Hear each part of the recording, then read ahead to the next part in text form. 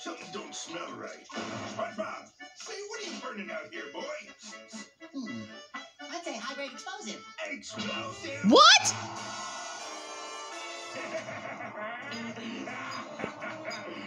Enjoy, Eugene!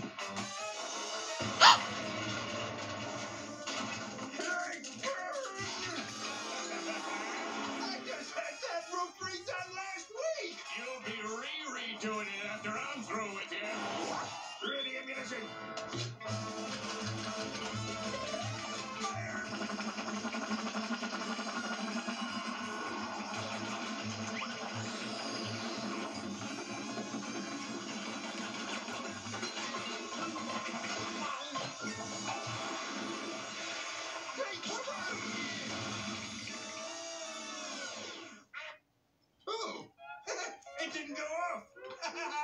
Another dud, Plankton.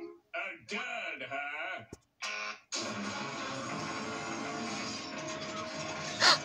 Oh, you're playing with fire now, Plankton! No need to get worked up over this, Krabs. Just give me the secret formula and I'll be on my way. You ain't getting it. I implore you to reconsider. Ah. Go, jump bike! I have ways of getting the information I need. Where's the formula, Krabs? Still not gonna talk, eh, Krabs? Ugh. Okay, Krabs, I see you're not gonna crack. But I don't think your underling is of the same mettle. I'll never talk. We'll see what Mr. Feather has to say about that. Okay, okay, but I don't know how to get into the safe behind the painting formula. He won't let me near it. Clever. Behind the painting, eh, Krabs? Hmm. Incidentally, what am I smelling? You got something burning? Smells like blubber to me.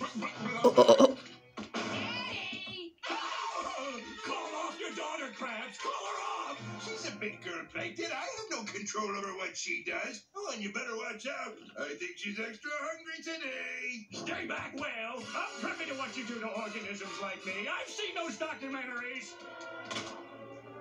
Did he just go into the freezer? Don't say it!